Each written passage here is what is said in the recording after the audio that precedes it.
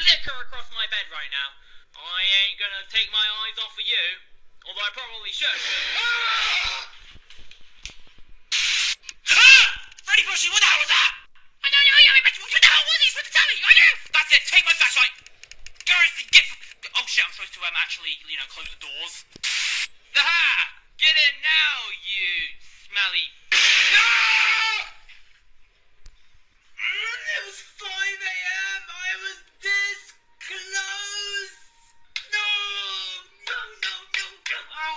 hurts my face.